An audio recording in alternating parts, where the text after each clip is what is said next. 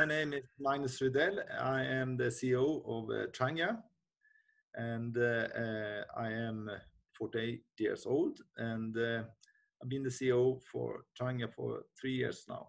I have a background in in automotive industry. I've been working uh, uh, within Saab, General Motors, Opel for almost 20 years in the past, living abroad in, in, Europe and but I um, uh, Eh, my, my, previous job was eh, a CEO of a small company uh, producing textile fabricated goods.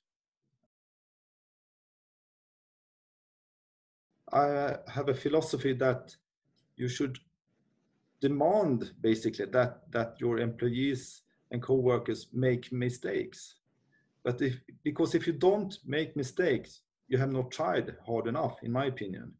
You must always try and that by trying you also you also fail sometimes. But the failure is not uh, something bad. It's something you can learn from.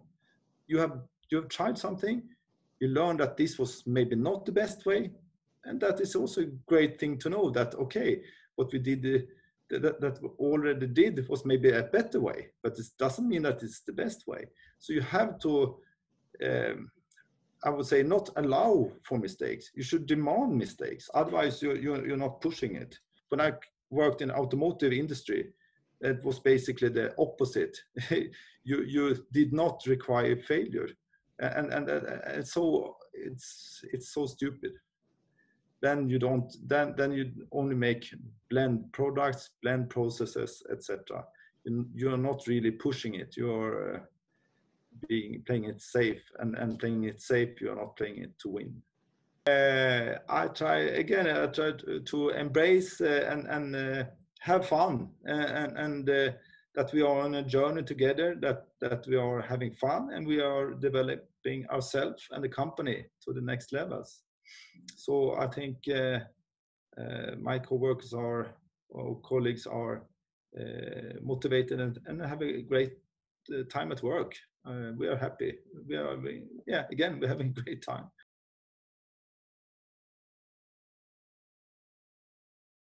A manufacturer of, uh, yeah, uh, utensils for for outdoor cooking and um, uh, different types of stoves, uh, fry pans, kettles, etc. In the past, the company started like uh, in, in 1925 and then we produced uh, household equipment.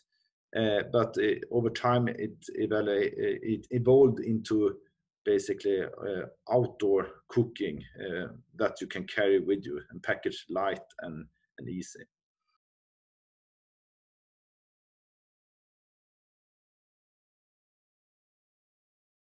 In that region, it's not only the stove, it's also a uh, more or less a lunchbox. We call it a mess tin that uh, that is used for cooking different uh, rice dish, dishes. That is very very popular.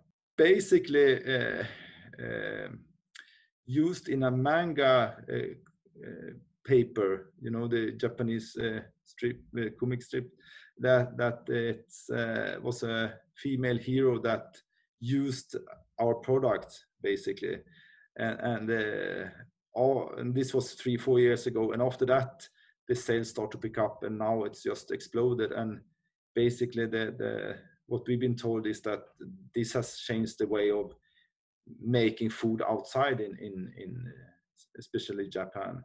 It's uh, that that product. It's was from the 50s and uh, used in Sweden a lot, but after microwave oven came into use, we we only produced maybe 5,000 per years for the worldwide. Uh, but now uh, this year we will produce close to 300,000 units only for Japan. You couldn't plan for it; it just happened basically.